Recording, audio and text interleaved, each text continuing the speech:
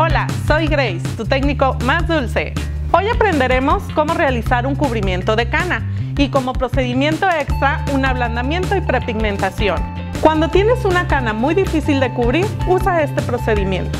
Existen reglas para un mejor cubrimiento de cana, donde nos dice del 0 al 30% solo tono deseado, del 31 al 50% 3 cuartos de tono deseado más un cuarto de natural. Después de un 50%, medio tono deseado más medio natural.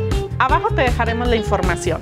Este procedimiento te ayudará a ablandar la cana, además de regresarle al cabello un poco de pigmento para una mejor fijación. Lo hacemos con reflejos dorados o cálidos. Recuerda que son todos aquellos que tienen presencia de rojo y amarillo.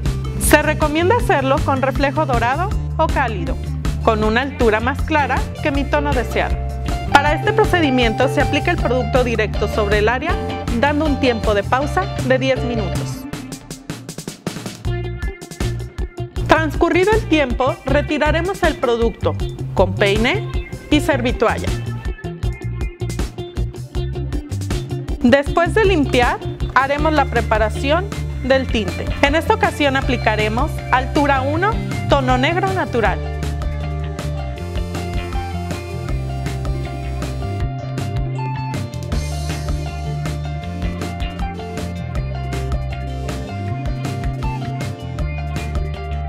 Recuerda que para cubrir la cana es necesaria una buena saturación. Comenzaremos aplicando donde existe más porcentaje de cana.